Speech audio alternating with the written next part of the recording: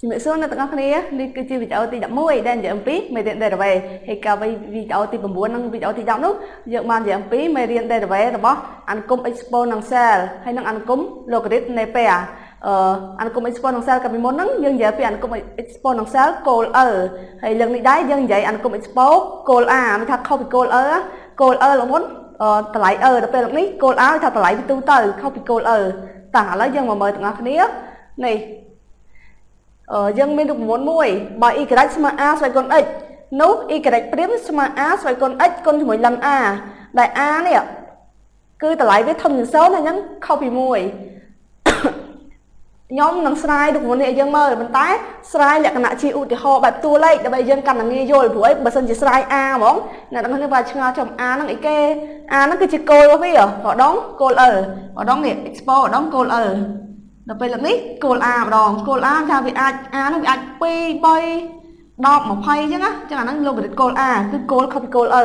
គឺលេខតួលេខទូទៅហ្មងអឺតាឥឡូវមកស្រាយមុននឹងទាំងអស់គ្នាថាហេតុអីបានជា y ស្មើ a សេគុណ x ហ្នឹង derivative វាបាន a សេគុណ x គុណជាមួយលំ a តាឥឡូវស្រាយតែខ្ញុំស្រាយលក្ខណៈដើម្បីកាន់តែងាយយល់គឺស្រាយលក្ខណៈឧទាហរណ៍ជាតួលេខ y ស្មើនឹង2សេគុណ x បើគិតទៅនេះ a នេះ ដូចលេខ2នេះអញ្ចឹងក្នុងករណីឧទាហរណ៍នេះគឺតួលេខតួលេខដែលខុសពីគោលអឺតាអញ្ចឹងមកចូលរួមស្រាយមិនបាច់ទិញលោកមុននេះឲ្យចាំទេយើងអាចបំលែងបានចុះខ្ញុំថាឲ្យទៅចាំលោកមុនបំលែងតិចបន្តួចណាយើងអាច database នេះបានស្រួលហើយអត់បាយតាឥឡូវឲ្យទៅឃើញស្វ័យគុណណាស្វ័យគុណ x ចាឲ្យធរដង database ដងនេះ x ស្វ័យគុណប៉ុន្មានស្វ័យគុណ2ស្វ័យគុណ3អីចឹងណាអស្វ័យគុណផ្សេងផ្សេងដល់ពេលលើកនេះ x នេះ ទៅជាស្វ័យគុណវិញម្ដង x ជាគោល x នេះ x ស្វ័យគុណប៉ុន្មានស្វ័យគុណប៉ុន្មានដល់ពេលលើកនេះតួលេខស្វ័យគុណ x វាប្រច្រាស់គ្នាអញ្ចឹងអត់ធ្វើតាមនេះបានទេអត់អាចតម្លាក់ x ជាស្វ័យគុណអាចនិយាយទៅ x ហ្នឹងតម្លាក់ចុះឲ្យ x ដក1ណាណៃអត់ចឹងទេធ្វើខុសពីរដងឲ្យឃើញស្វ័យគុណ x អញ្ចឹងគឺយើងវិធីសាស្ត្រយើងគឺពាក់លិនលើវាពាក់លិនទាំងសងខាងនេះលិនពាក់លើ y ហើយយើងពាក់លើ2សេគុណ x ដល់ឥឡូវអឺ យើងចង់រក derivative ចង់រក y' គោលដៅយើងណាចង់រក y' ស្មើប្រមាណ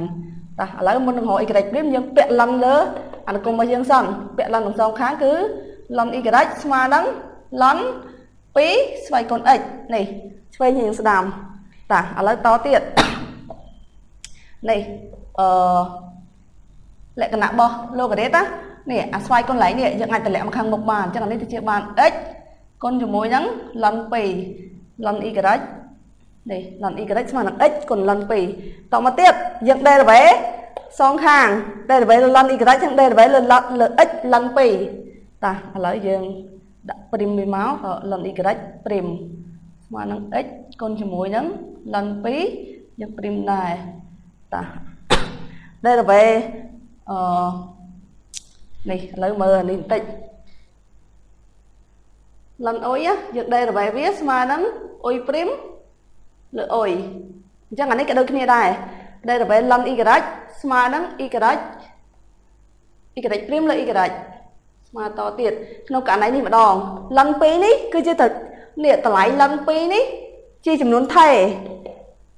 ជាតួលេខវាមិនមែនជាអញ្ញាតបើ x នេះបានជាអញ្ញាតអញ្ចឹងដែលទៅ x ជាមួយលន2នេះស្មើនឹង លិន2ជាតួលេខទេជាចំនួនថេអញ្ចឹងយើង derivative x ហើយ derivative x បាន1អញ្ចឹង derivative x លិន2នេះស្មើនឹងលិន2ដោយសារ derivative x បាន1ហើយលិន2នេះជាតម្លៃចំនួនថេឬក៏ជាចម្លើយតួលេខអញ្ចឹងតនេះស្មើនឹងលិន2តតទៀតឥឡូវយើងចង់រក y' ព្រីមអញ្ចឹងយើងបោះ y' មកខាងនេះមកចែកបោះមកគុណអញ្ចឹងអានេះដាក់នាំឲ្យទៅនេះតិចមកនាំឲ្យ y' ព្រីមស្មើនឹង y' ព្រីមស្មើនឹងបោះមកអឺបានលន2ឲ្យដាក់ y' ខាងមុខនេះបោះមកបាន y' គុណជាមួយនឹងលន2ស្មើតទៀត y y មិញស្មើនឹង2ស្វ័យគុណ x អញ្ចឹងស្មើនឹង2ស្វ័យគុណ x គុណជាមួយនឹង ln 2ចម្លើយយើងចេញប៉ុណ្ណឹងចុងក្រោយ y' ព្រីមស្មើនឹង2សេគុណ x ln 2តោះឥឡូវបើធៀបនឹងអរូបមន្តធៀបរូបមន្តគឺដូចគ្នានេះធៀបរូបមន្តអឺមិញ y យើងស្មើនឹង2ស្វ័យគុណ x អញ្ចឹងន័យថាតួ a យើងនេះតួ a យើងស្មើនឹងលេខ2អញ្ចឹងពេល derivative ទៅស្មើនឹង បើសិន derivative តាមពីមុនណានាំមក y' ស្មើនឹង a ស្វ័យគុណ x អញ្ចឹងថា2ស្វ័យគុណ x ព្រោះ2នេះស្មើនឹង a នេះអញ្ចឹង2ស្វ័យគុណ x គឺ a ស្វ័យគុណ x គុណជាមួយនឹង ln a នេះតួ a យើងវិញគឺលេខ2អញ្ចឹងមានថាស្មើនឹង2ស្វ័យគុណ x គុណជាមួយនឹង ln 2ឃើញអត់ហើយអានេះពេលយើងដែលទៅតាមពាក្យ ln ពាក្យអីនេះក៏បានចឹងដូចគ្នាដែរចឹងបានថាយើងមិនបាច់ចាំពេលខ្លះយើងអាចនឹងភ្លេចរង្វង់ពួកនេះ ព្រោះវាដូចមិនសូវប្រើអញ្ចឹងណាប៉ុន្តែបើសិនជាជួបក្នុងលំហាត់ណាមួយឯងយើងរហូតនឹករង្វង់អត់ឃើញយើងអាចបំពាក់លិនបំពាក់លិនលើអានគុំរបស់យើងទៅតមកទៀតចាំយើង derivative វាពេល derivative ហើយនេះចប់ y ព្រីមមួយ y អញ្ចឹង y នេះយើងបោះទៅចែកចែកបោះទៅកូនអញ្ចឹងអាចចេញចម្លើយបានដែរមិនបាច់ចាំប្រវាក់ទិញរង្វង់នេះចាំទេថាយើងយល់លក្ខណៈយល់យល់ទៅធ្វើទីចុះទីឡើងបានដូចគ្នាអត់ពិបាកទេតាឥឡូវ អ្នកនរនេះអាចសាកធ្វើលំហាត់មួយដល់ខ្លួនឯងទៅហ្នឹងគាត់ទៅយល់ច្រើនជាងហ្នឹងហើយចុងក្រោយដែលវាបាននេះ y ទេមតោះឥឡូវមើលសាកធ្វើខ្លួនឯងមកឥឡូវធ្វើអនុគមឥឡូវសាកដែលវាអនុគមនេះមួយមក